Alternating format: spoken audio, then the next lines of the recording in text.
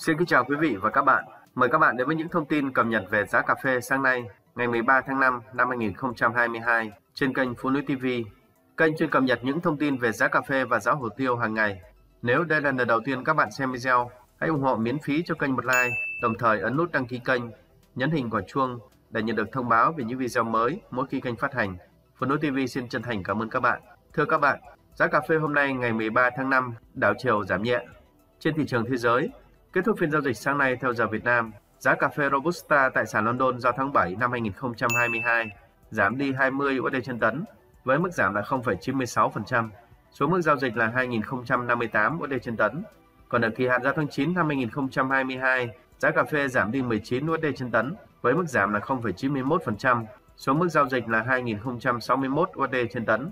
Quy đổi theo tỷ giá đồng USD, hiện giá cà phê ở kỳ hạn giao tháng 7 và tháng 9 tương đương với mức giá là 47.300 đồng và 47.400 đồng một kg. Các mức giảm nhẹ, khối lượng giao dịch cà phê Robusta trong phiên vừa qua duy trì ở mức thấp dưới mức trung bình.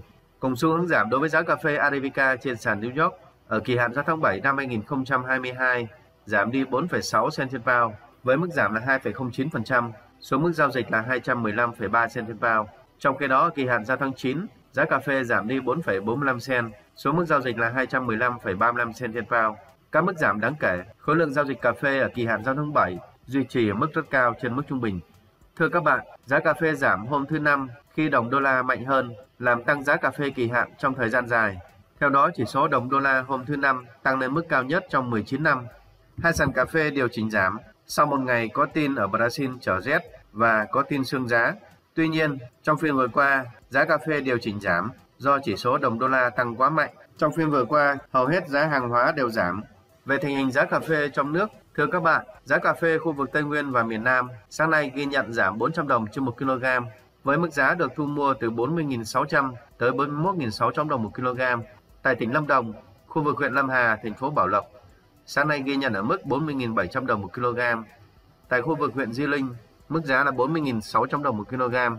Giá cà phê tại tỉnh Đắk Lắk, khu vực huyện Cư Mờ Ga ghi nhận ở mức 41.600 đồng 1 kg. Tại khu vực huyện E Hà Leo và thị xã Buôn Hồ, giá cà phê là 41.500 đồng một kg. Giá cà phê tại tỉnh Gia Lai, khu vực thành phố Pleiku và huyện E Grai có mức giá là 41.400 đồng một kg. Tại khu vực huyện Chiêm Rông, giá cà phê được thu mua là 41.300 đồng một kg.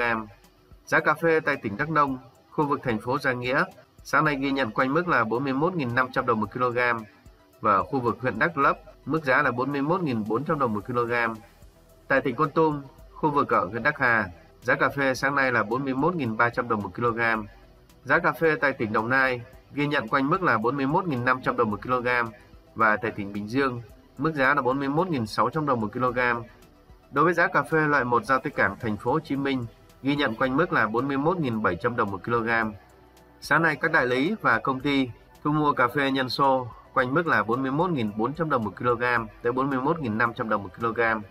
Quý vị và các bạn vừa nghe những thông tin cập nhật giá cà phê sáng nay, ngày 13 tháng 5. Cảm ơn các bạn đã quan tâm theo dõi. Xin kính chào và hẹn gặp lại các bạn.